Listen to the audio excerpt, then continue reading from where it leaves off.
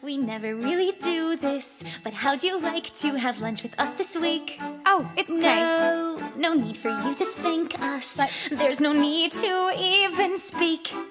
You're new and you don't know things. You need good friends who can tell you what to think.